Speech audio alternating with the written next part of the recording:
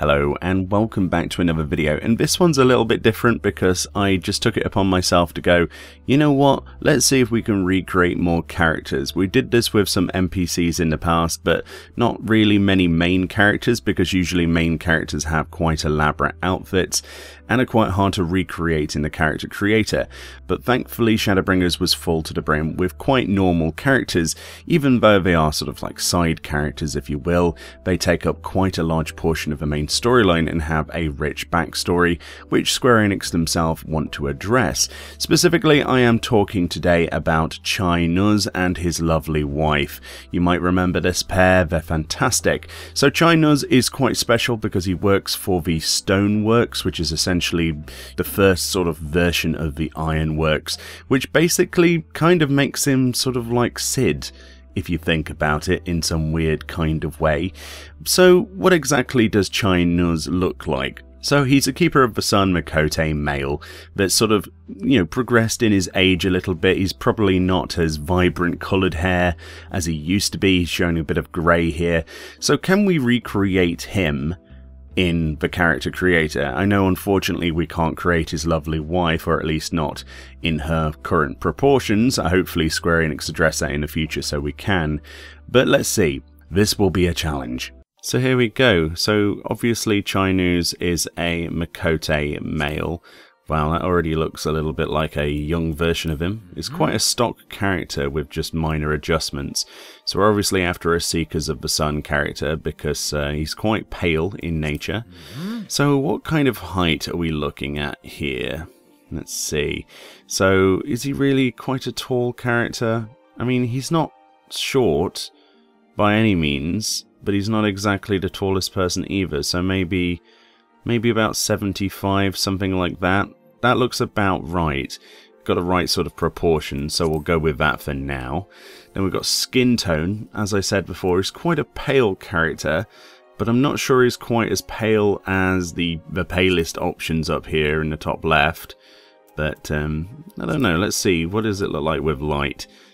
Actually, that's a bit closer. I think, obviously, he's been a little bit um, sort of bathed in sunlight from the the first, but um, I'm not quite sure that sort of has the same effect as it would in real life. We'll go with a short tail for now because I need to look at the reference picture to actually see if he actually has a fluffy tail or not. I think he does have a fluffy tail, but let's not bother at the moment. So the hairstyle is going to be quite difficult because I don't believe we have access to the same hairstyle. We have stuff that looks similar or like slightly weird like this one. Um, we have longer hairstyles, quite a lot of short ones, but we're looking for something with a fringe. Um, this is somewhat okay, but it's not really long enough. That's okay, but again the fringe is wrong, so it kind of looks like Otacon from Metal Gear Solid. That's not too bad. That's sort of like a youthful sort of look, but really we want that sort of swept hair across um, sort of fringe look which I don't know if we're going to be able to do. That's not bad, actually. I think that's probably the closest we're going to get. Um, yeah, I think the others are just long hairstyles, aren't they? Yeah, okay, so we're going to go with this one, I think. And obviously this needs to be changed to colour. So in the source footage, we actually show um, him with quite pale sort of purple hair. But do we really want to go for that sort of old-timer look as he currently is in the game? Or do we want to sort of recreate what he might look like in the, you know, in the past sort of thing? Are we going to go for a source world version of him since we haven't got the exact hairstyle? I mean, this is obviously a lot younger looking than perhaps the main character actually is. That's not too bad, this coloration here. I mean, it's not too bright, but it's not too dark either, and I think honestly that might work for the best. So when it comes to face options, I think it has to be number two. It's the one that's the most grizzled. We want a bit of age, uh, just enough, but also if you don't click on that one, he won't have the same facial sort of layout, so it won't look right. And I think for the most part, most of the other options are stock, so his jaw is definitely a one, I think. His eye type, I mean, one's pretty good. Yeah, the others are too gentle. I think one has more of a sort of basic but sort of stern look to it.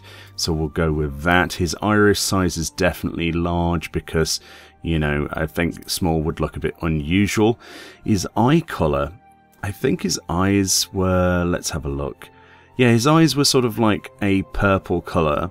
Um, they weren't sort of purpley blue, so everything sort of has a bit of purple in it, or a bit of violet at least.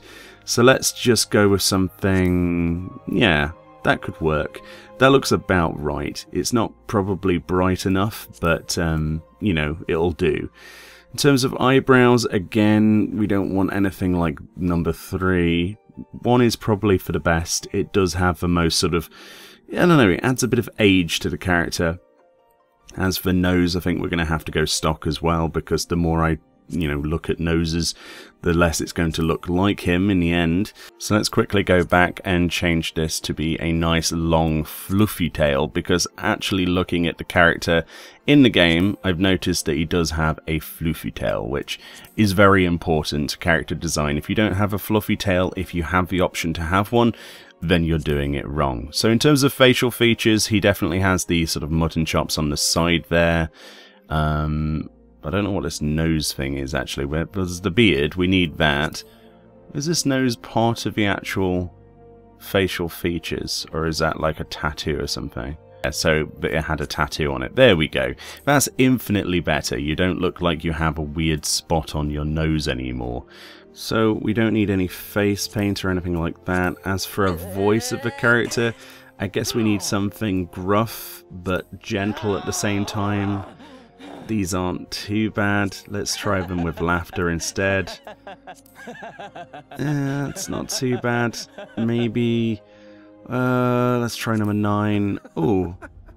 Okay, I think number nine's quite nice. Let's hear that with a nod. Yeah, we'll go with number 9. And pretty much that's my character created for Chai So let's see what he looks like in the game dressed up. So here we go, this is the hard labour. As a result, I have something that looks as close as we're going to probably get to actually what he looks like, and indeed what he wears, so this should be pretty good for an RP setup if you want to play as a slightly younger, slightly less gruff, maybe less gentle Chai-Nuzz. And basically to create this, the main parts of this as you might notice on the head there, I'm using the weathered spectacles. This is something that uh, I believe matches the model originally quite well. We also have the High House Justaucorps as the main chest here dyed regal purple. This is pretty much exactly what he wears and I believe I've got legs right as well which are the Royal Seneschal's breeches and to finish it off we have the Songbird boot. So really the only thing that's died here is that High House Justaucorps. This wasn't particularly too difficult to put together, and I think it looks actually quite close to the character. It might not be perfect, his hair might be slightly brighter, and the hairstyle isn't exactly accurate, but it does look like him. In many ways, I think we've succeeded here. There's not really much else we could have done. We probably could have sourced a different hair from somewhere else. There's probably a different option. It looks better. We've probably missed something here and there maybe, but as a whole, I think this looks pretty good. So yeah, that's pretty much my recreation of Chai-Nuzz, one of my favourite side characters from Shadowbringers. Hopefully you've enjoyed this sort of video, it's something different, I might continue this because honestly, it's quite fun. So join me in the future as we continue to recreate NPCs. Thank you for watching, and I'll see you all next time.